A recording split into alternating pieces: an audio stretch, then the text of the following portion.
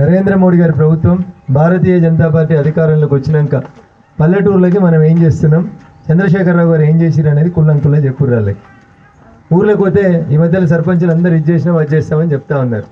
ఏ ఊరికి పోయినా మూడు పనులు చేస్తారు ఒకటి పల్లె ప్రకృతి వనం అని ఒకటి చేస్తూ ఉన్నారు. చేస్తున్నారా?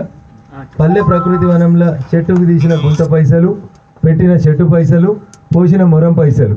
అవన్నీ కూడా ఎన్ఆర్ఈజిఎస్ పథకం కింద కేంద్ర ప్రభుత్వం నరేంద్ర మోడీ గారు పైసలు ఇస్తే సర్పంచ్ గారు ఊర్లలో పల్లె ప్రకృతి వనం పెడుతున్నారు. మేము పెట్టినామని చెప్పేందుకు వాళ్ళు ఏం చేస్తారు ఆ కడీలకు మాత్రం గులాబీ రంగు వేసుకుంటారు పైసలేమో ఢిల్లీ ఆ మధ్యలో రాళ్ళు వస్తారు కదా పాతిన రాళ్ళకి వేసిన రంగు మాత్రం గులాబీ రంగు వేసుకొని మేం చేస్తున్నాం మేం చేస్తున్నాం పల్లె ప్రకృతి వనం దేశంలో ఎక్కడైనా ఉందా చెప్పుర్రి?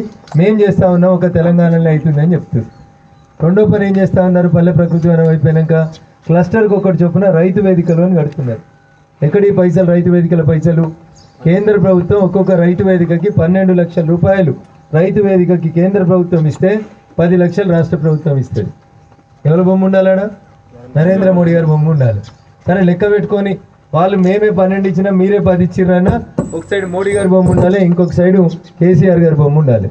అవి కూడా ఎన్ఆర్ఈజిఎస్ కింద కేంద్ర ప్రభుత్వం ఇస్తున్నటువంటి నిధులే.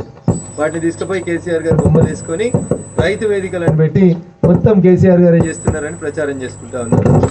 లాస్ట్కి ఇంకో పథకం కూడా ఈ మధ్యలో అన్ని ఊర్లలో చేస్తూ ఉన్నారు.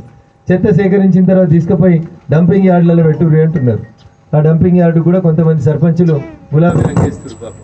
ఎందుకంటే వాళ్ళకి భయం అన్నట్టు. కేంద్ర ప్రభుత్వ పథకాలను ఎక్కడైనా పిల్లగాళ్ళు తెలుసుకొని చెప్తే ఊర్లో పట్టి కష్టమవుతుందని కట్టిన ప్రతి కటకానికి గులాబీ రంగు వేసుకున్న ఒక ఆనవాయితీగా పెట్టుకున్నారు. డంపింగ్ షాడ్లో డంపింగ్ యార్డ్లో నూటికి నూరు శాతం పైసలు కేంద్ర ప్రభుత్వం ఎన్ఆర్ఈజీఎస్ నిధులు.